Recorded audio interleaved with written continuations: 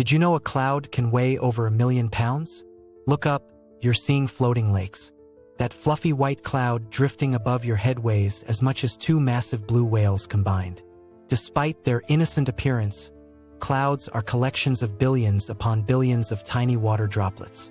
When you add all that water together, the weight accumulates to over a million pounds. A typical cumulus cloud contains about the same weight as 100 elephants stacked on top of each other.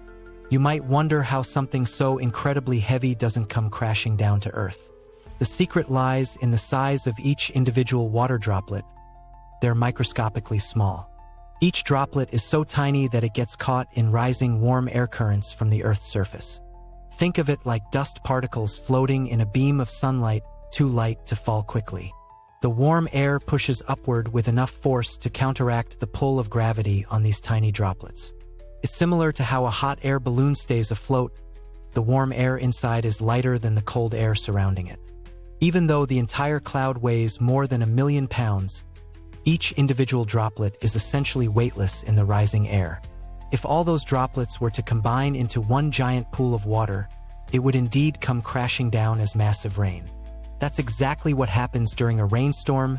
Droplets merge until they're too heavy for air to support them. Some storm clouds can contain even more water up to 2 million pounds, or roughly the weight of 300 elephants. The next time you see a towering thunderhead, you're looking at a flying lake suspended in the atmosphere. Clouds that look small from a distance can span several miles across and contain enough water to fill 500 Olympic swimming pools.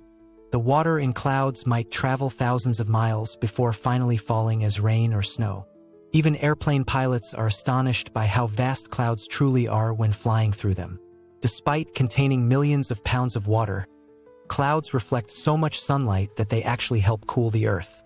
Without the lifting power of warm air, our skies would be empty and every day would be perfectly clear. Nature has perfected the impossible, suspending lakes worth of water directly above our heads. So next time you look upward, remember you're witnessing one of nature's most brilliant magic tricks. Million-pound masses of water, floating effortlessly in the sky, held aloft by nothing but warm air. Look up again. Those aren't just clouds. They're floating lakes, proving how surprising our world truly is. What did you think about this video? Comment below and subscribe for more.